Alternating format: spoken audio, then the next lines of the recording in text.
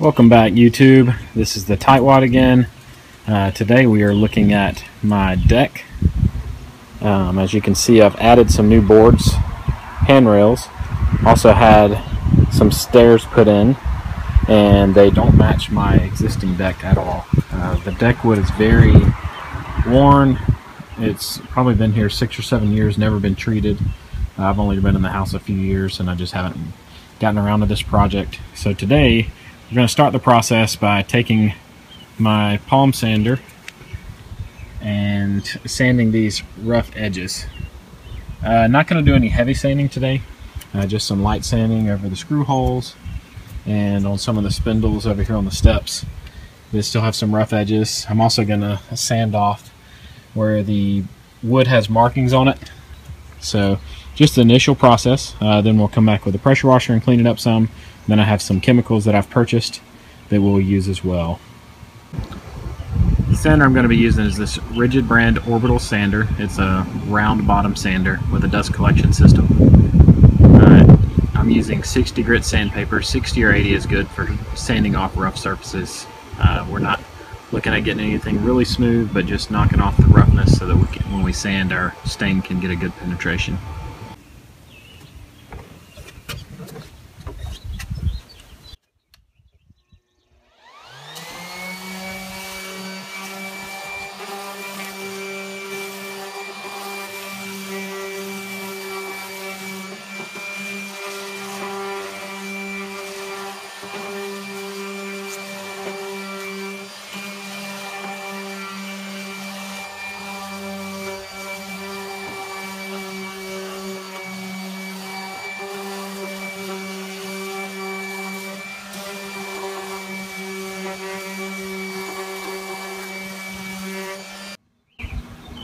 Alright tightwads, it's time to start stage two of the deck prep for staining.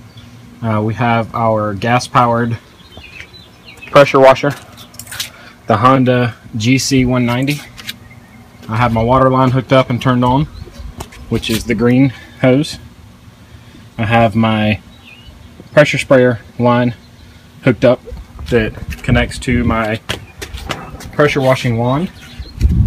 Uh, we have the deck cleared off so that we can get started.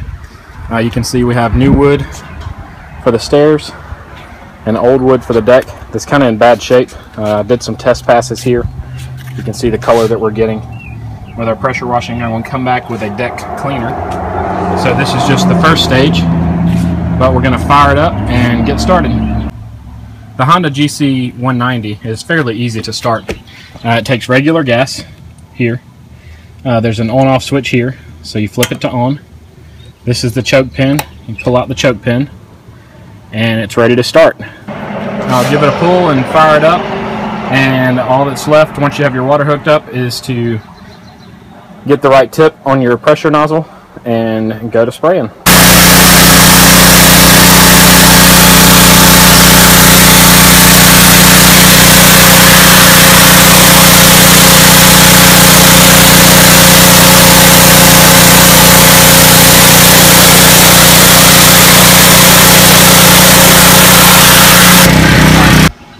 Alright guys, I purchased this Restore deck cleaner and I was pressure washing my deck and it made me think that I should do an experiment to see if pressure washing is necessary before using Restore deck cleaner. So what I've done is I pressure wash one board all the way down to the wood, which people say removes some of the softwood and may leave ridges. The board above the clean board had one light pass with the pressure washer and the board above that was just wet. Uh, no pressure washer, no cleaning at all. And I'm going to put the Restore Deck Cleaner on there, let it sit for 15 minutes like it says, and scrub each board with 10 strokes with my scrub brush. And then we'll rinse it off and see what the difference looks like. You can see the Restore Deck Cleaner foams up a lot, and I'm assuming that means it's oxidizing and that's the way it cleans the wood. So we'll give this another 10 minutes and check on it.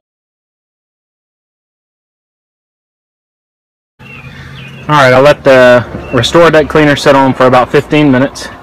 Took my scrub brush and I said 10 before, but I went ahead and did 20 passes back and forth on each board.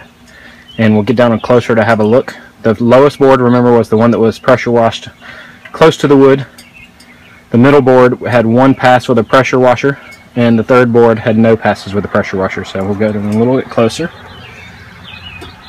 And this one's almost perfectly clean, but you run the risk of damaging your wood with your pressure washer. This one you can still see has a little bit in the grooves. Uh, a little bit on the end, it's just where I probably didn't scrub good enough. And the last one has a little bit more still stuck to it. I'm confident with two passes with the Restore Deck Cleaner that all these boards would be as clean as the first one. Uh, we'll test that once I start cleaning the whole deck and I'll let you guys know. Alright, after the experiment I decided to do a light pass with the pressure washer to preserve the wood and then come back with the cleaner and clean the whole deck. You can see that the wood that was more protected came off, or the stains came off quicker and easier. This is where my grill was sitting. You can see it's pretty much down to the bare wood now. Uh, but right along the roof line where the gutters are, a lot of the nastiness stuck to the boards a little better. So I'll have to clean it off. Here's the results of the experiment again. The lowest board being the pressure wash board, the next one up being the lightly um, pressure wash board, just one pass, and then the cleaner, and the third board being just the cleaner. So I will be getting the cleaner out hopefully tomorrow in a good scrub brush and taking care of the rest of the deck. Alright, we got a hard rain this afternoon, uh, so I didn't get to this part of the project as quickly as I thought I would. But I'm going to be using the step one of the Restore deck. I've already mixed it, uh, mixed two thirds of a cup of the powder to a gallon of water in my pump sprayer. I picked up a swiveling deck scrub brush from the local hardware store and I'm about to get started. Uh, says to spray this on and wait 15 minutes and then scrub it with a scrub brush and spray it off. So I'm going to do, uh, I'm going to go and start with five boards at a time just because I know that's how much I'll be able to get done. Uh, I may have to take a break in a minute. So I'll do five boards at a time until I complete the whole deck. I applied the cleaner pretty liberally to the first five boards and you can already see some foaming. I just sprayed it on. Uh, so we're going to give it 15 minutes and come back and see what it looks like. Uh, see if there's more foam, less foam, but we'll check back in a few minutes. Alright, after 15 minutes it appears that all the bubbling is gone. Uh, we're going to try to scrub and see what comes off. Alright, so I've cleaned a little under half of the deck with the Restore Deck Step 1 cleaner. Uh, you can see the difference here. You, it's hard to see in the shade, but you can see the difference in the clean boards and the boards that were not clean. So my boards were in pretty bad shape. Uh, looked like they were really grayed out and um, poor quality. But once I clean them, uh, restored to the natural wood tone. I have not put the brightener on yet, so they'll look even nicer once the brightener's done. And I just have a little bit of the deck left to finish. Uh, also do a light coat over the new wood on the steps to clean off any of the mill glaze that existed. And then I'll come through and use the brightener on the whole deck.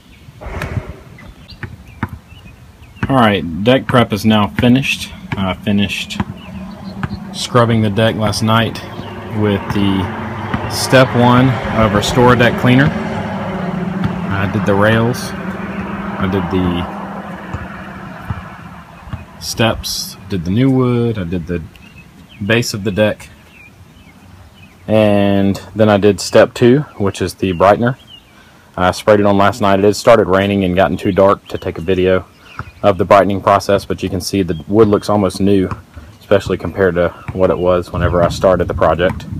Uh, here's the contrast of the old wood on the top step there down to the new wood.